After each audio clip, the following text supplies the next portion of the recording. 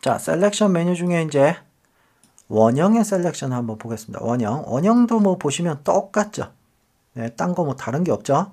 그 다음에 아래쪽에 있는 거 single row, 그 다음에 single column이 있는데 single row는 말 그대로 가로로 한 줄만 선택을 하는 겁니다. 가로로 한 줄. 그 다음에 single column이라는 거 세로로 한 줄. 그래서 어떤 라인 같은 걸 만들 때 한 줄 선택하고 Alt delete해서 파란색을 칠해주고요. 안 칠해진 것 같지만 선택을 풀어보시면 이렇게 한 줄이 들어가죠. 자, 그래서 선택 영역, 네모, 그 다음에 원형, 그 다음에 한 줄, 한 column. 자, 그 다음에 아래쪽에 있는 selection 같은 거는 예, 자유, 그러니까 free draw로 선택을 할 수 있는 겁니다. 자, 얘도 아예 revert 시키겠습니다. 원본으로.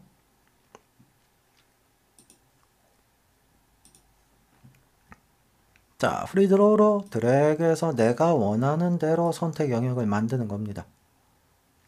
자, 얘도 당연히 직선이 아닌 곡선도 가능하기 때문에 anti-aliasing이 있습니다. 그래서 이 부분은 잘 판단을 하셔서 anti-aliasing을 주고 선택 영역을 해야 될지 말아야 될지 잘 판단을 해서 사용하시면 되고요.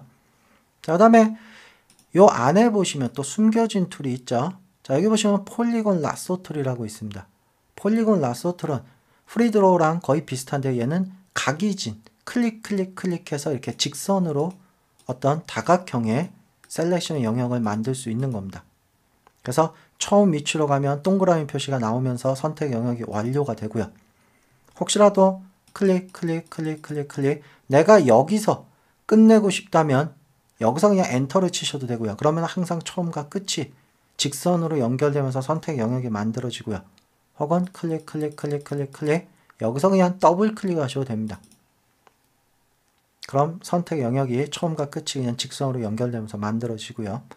자, 근데 이 두 개의 툴, lasso tool과 polygon lasso tool을 이렇게 툴을 바꿔서 사용하지 않고요. 주로 lasso tool에서 이렇게 자유롭게 그리는 툴에서요. lasso tool에서 그릴 때 Alt 키를 누른 상태에서 그리면 polygon lasso tool로 작동이 됩니다. Alt 키를 누르고 그리면요. lasso tool에서요. 그래서 이 두 개의 툴은 이렇게 좀 왔다 갔다 거리지 않고 단축키를 좀 이용을 하시면 편하고요. 자, 다음에 magnetic lasso tool 있죠. 이 magnetic lasso tool이라는 건 마치 자석에 이끌리듯 어디에 이끌리냐? 이 색상의 경계 있죠. 색상의 경계 부분을 지가 알아서 판단을 해서 이렇게 쭉 따지게 됩니다. 자, 아무 부분이나 클릭을 하고 마우스를 띄었습니다. 띈 상태에서 움직이면 이렇게 경계 부분이 드러나는 부분에 이렇게 달라붙게 됩니다. 착착착착. 자, 그러면서 이렇게 내가 원하는 부분을 선택 영역으로 만들 수가 있습니다. 자, 그냥 지금은 대충 하겠습니다. 여기까지만 해서 닫으면 이 부분이 선택 영역이 되죠. 자, 이때 이제 이 컨트롤 바에 보시면요.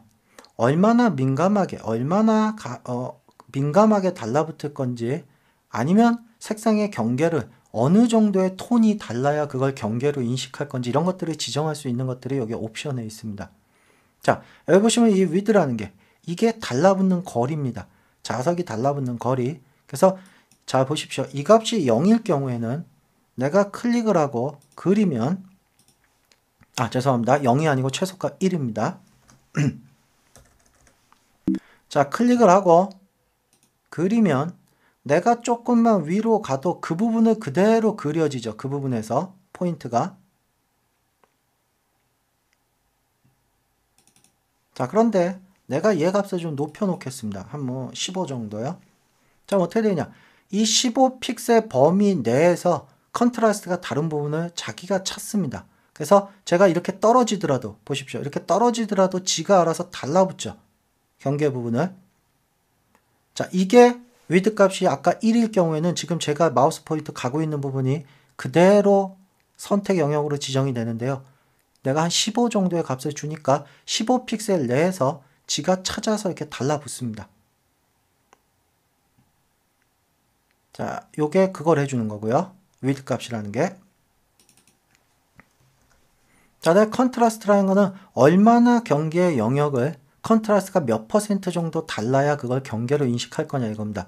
당연히 contrast가 높으면 높을수록 영역을 찾는 게 힘들겠죠. 이 값을 예를 들어 100이라고 준다면 contrast가 100% 달라야 찾기 때문에요. 네. 이렇게 완전히 다른 영역 쪽으로만 선택이 되고요. 예를 들어 내가 contrast를 한 1% 정도만 주겠다.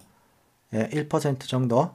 자, 그러면은 얘가 1%의 contrast가 다른 부분 있죠. 그 내외에 있는 그 부분을 지가 알아서 따기 때문에 약간 이렇게 삐져나오기도 합니다. 왜? 지금 보시는 요 포인트와 요 지점이 contrast가 거의 1% 내외에 있기 때문에 이렇게 같은 영역으로 인식을 하게 되죠. 자, 그래서 너무 낮춰주시는 것도 좋지 않고요. 한 10에서 뭐 그 정도 기본값이 10이죠. 적당하게요. 이거는 이제 이미지에 따라서 많이 달라지겠죠. 제가 따고자 하는 부분이. 자, 그 다음에 이제 이런 부분이 하나가 있습니다. 자, 내가 여기서 클릭을 해서 가다가, 자, 여기 보십시오. 이 부분이 난 죽어도 여기 이 부분이 안 따진다 이겁니다. 자, 컨트롤. 아이고, 죄송합니다. 나는 여기서 요렇게 가고 싶은데 요 색상이 경계가 뚜렷하지 않아서 자꾸 이 경계가 뚜렷한 어두운 쪽으로 선택 영역이 달라붙을 때가 있습니다. 자, 이랬을 경우에 어떻게 하느냐? 강제로 포인트를 추가해 주면 됩니다. 그래서 이 부분에서 클릭. 그럼 이 부분에 아예 포인트가 추가가 됩니다. 강제로. 그 다음에 이 부분도 여기 클릭. 여기도 클릭. 자, 나머지는 경계가 뚜렷하니까 잘 따라올 거고요. 그래서 가시다 보면은 경계가 좀 뚜렷하지 않아서 엉뚱한 데로 갈 때, 이럴 때 있죠. 여기도 약간 더 바깥쪽으로 나가야 되는데, 자, 이런 부분. 잘못 포인트가 지정된 부분은 여러분들 그 백스페이스 키 있죠? 백스페이스 키 걔를 누르면 이렇게 한 단계씩 지워집니다. 포인트가. 자, 그래서 여기도 클릭하고 나는 조금 바깥쪽으로 가야 된다. 클릭, 클릭. 그 다음에 나머지는 또 경계가 뚜렷해 보이면 그대로 가시고요. 뭐, 요 부분도 좀 불안하다 그러면 클릭. 요 부분도 클릭. 난 위로 가고 싶다 그러면 위로 가시고.